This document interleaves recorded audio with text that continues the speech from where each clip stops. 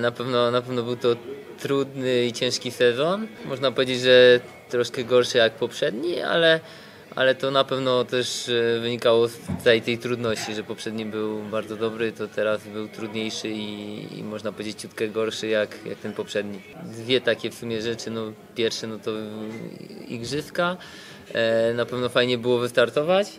E,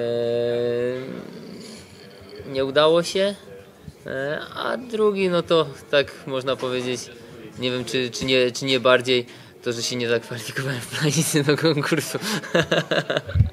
Na tyle się czuję w sumie dobrze, że byłbym w stanie powalczyć, a, a złożyło się jak się złożyło i, e, i nie udało się na koniec sezonu fajnie po, poskakać. Byłem na igrzyskach, e, walczyłem o to, żeby, żeby skakać.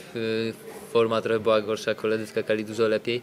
E, a na pewno no, to jest tak, że tak naprawdę e, skoki to można powiedzieć dużo większa część mojego, mojego życia i, i nie, nie, nie zamierzam tak naprawdę na tym poprzestawiać, tylko, walczyć dalej i robić dalej, wykonywać dalej swoją pracę najlepiej jak potrafię i e, dopóki tak naprawdę zdrowie pozwala, no to e, mam zamiar dalej e, walczyć. Noriaki, Noriaki też jeszcze się szykuje, także, także jeszcze mam czas, jeszcze mam dużo czasu. No dużo, dużo więcej takich e, nowości się, się nauczyłem e, od Stefana, no i cały czas, cały czas się coś nowego uczę. No na gitarze się nauczyłem grać.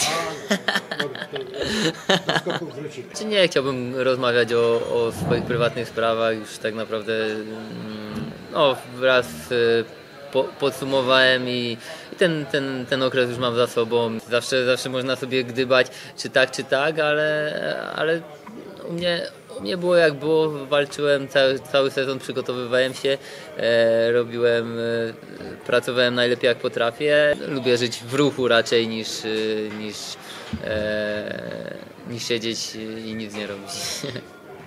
Pozdrowienia dla wszystkich e, widzów SEPL.